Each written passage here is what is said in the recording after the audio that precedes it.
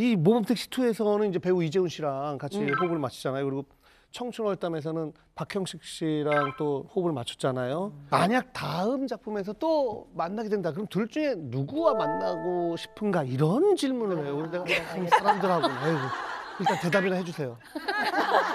아니 근데 이분들이 저를 만나고 싶을지를 모르겠어요.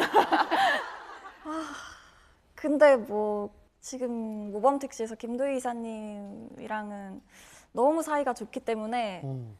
조금 더 이어지면 좋겠다 아하. 하는 생각이 있어요. 아니 아. 왜냐면 이 질문은 사실 어리석은 질문인 게 예전부터 인터뷰할 때 이상형을 이재훈 선배님이라고 얘기를 했어요. 난 예. 박형신 씨로 나올 줄 알았더니. 그래. 아, 형식이 좋은 친구입니다. 어. 근데 이상형이랑 같이 연기해 보니까 어때요? 그 이상형이라고 제가 네. 말을 아주 옛날에 그 건축학개론이나 예, 예, 영화를 예. 보고 얘기했는데 그쵸? 잘못한 거 매번, 매번 물어보고 그리고 현장에서 재훈 오빠를 처음 봤을 때 너무 민망하더라고요. 어, 그걸 알고 있을까 봐. 어. 어, 그랬겠다. 어, 같이 해보니까 아직도 좀 이상형이에요? 아니면 좀 바뀌었어요? 아니요, 사실 만나보니까 더 좋아요. 아, 더 좋아요? 네. 어. 아니 이재훈 씨도 알 거 아니에요. 약간 그 눈빛 보면은 그 거만하고 교만한 표정 같은 게 나오잖아. 근데 저한테 알고 있다고 티를 안 내는데 음. 저 혼자 너무 민망하더라고요. 근데 표혜진 씨가 예전에 희대 불륜녀 역할로 부모님을 놀래켰다 뭐 네. 이런 얘기가 있어요. 이게 무슨 얘기죠? 제가 그 VIP라는 드라마에 아, 아. 네, 상현 오빠랑 나라 언니 부부 사이에 껴서 불륜녀 역할을 했었는데 음. 하지 마요.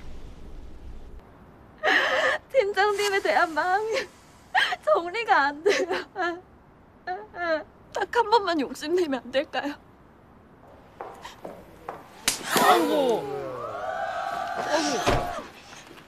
네가 감히 나한테 그딴 문자를 보내? 아이고 아이고. 아이고. 어, 어 와인을.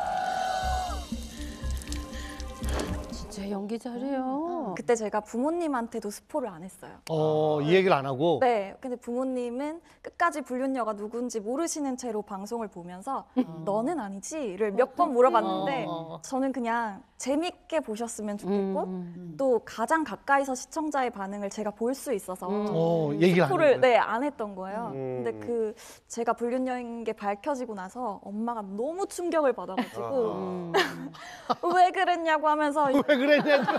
내 딸이 불륜녀 했더니 뭐 되게 걱정을 많이 하셨어요.